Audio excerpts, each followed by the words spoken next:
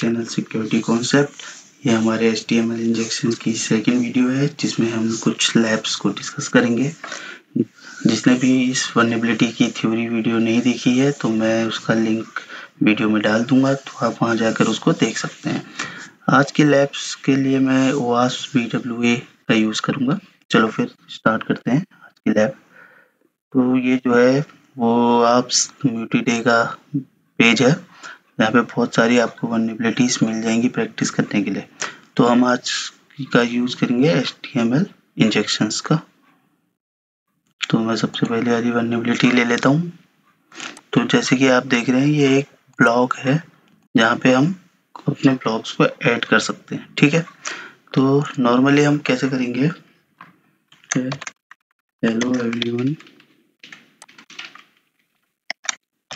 my name is Gaurav. तो मैं save करता हूँ। तो जो नॉर्मली होगा तो ये ब्लॉग इस टाइप से सेव होगा। अब हमने इसमें चेक करना है कि इस इनपुट फ़ील्ड में H T M L injection vulnerability है या नहीं है। तो इसके लिए मैं एच टी एम एल के टैग्स यूज़ कर लेता हूँ। एक हेडिंग टैग यूज़ कर लेता हूँ। एक अंडरलाइन टैग यूज़ कर लेता हूँ। Hello everyone my name is Gaurav और इन टैग्स को मैं क्लोज कर देता हूँ अंडरलाइन टैग को क्लोज कर देता हूँ। और अब मैं एच वन टैग को क्लोज कर देता हूँ और इसको सेव कर देता हूँ। तो ये देखिए यहाँ पे। जो मैंने टैग्स यूज़ किए थे, वो यहाँ पे आ गया हेलो एवरीवन में अंडरलाइन भी आ गई है और ये हेडिंग बन गया है एच टैग की हेल्प से। तो इस तरीके से आप चेक कर सकते हैं कि ये जो इनपुट फ़ील्ड है, वो वर्नेबल है या नहीं है। तो इसके साथ मैं सेकंड देखता हूँ।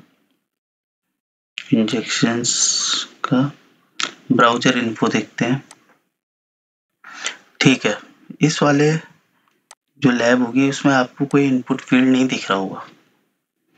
जैसे कि यहाँ पे कोई इनपुट फ़ील्ड नहीं दिया हुआ है। तो हमें ये चेक करने के लिए हमें बब का यूज़ करना पड़ेगा। हमें ये रिक्वेस्ट इंटरसेप्ट करनी पड़ेगी। तो मैं बब को इंटरसेप्ट ऑन कर देता हूँ। मैं रिफ्रेश करता हूँ तो रिक्वेस्ट क्या? इंटरसेप्ट हो जाएगी। तो अब हम देखते हैं कि कौन सी फ़ील्ड में ये जो यूज़र एंजन फ़ील्ड है, पहले हम इसमें डाल के देखते हैं कुछ भी। H1 का यूज़ कर लेता हूँ मैं फिर से। हेलो पहले हम इसको टेस्ट कर लेते हैं हेलो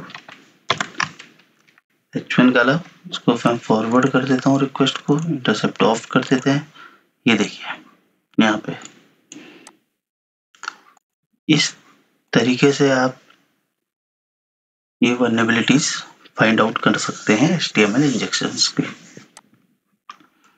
तो ये भी एग्ज़ाम्पल हो गया। ये एग्ज़ाम्पल था, उस कैटेगरी का था जब हमें कोई इनपुट फ़ील्ड हमारे वेब पेज में नहीं मिलेगा। तो हम हेडर्स की तरफ़ जाएँगे एच के। दूसरा देखते हैं कोई। डीएनएस लुकअप ये देखिए। ये एक वेब पेज बना रखा है जहाँ पे हम होस्ट नेम या आईपी डाल के वो रिजॉल्व होके हमको अगर हम होस्ट नेम डालेंगे तो आईपी दे देगा और आईपी दे, डालेंगे तो होस्ट नेम दे देगा, जो कि नॉर्मल यूज़ होता है डीएनएस का। तो मैं यहाँ पे डालता हूँ गूगल डॉट कॉम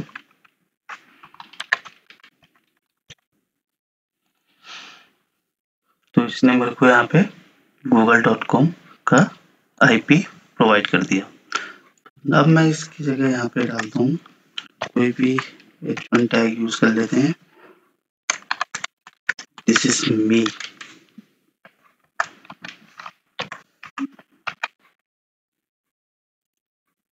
ये देखिए रिज़ल्ट फॉर रिफ्लेक्ट हो गया यहाँ पे। जो भी हमें हमने डाला था, वो है H T M L tags की हेल्प से।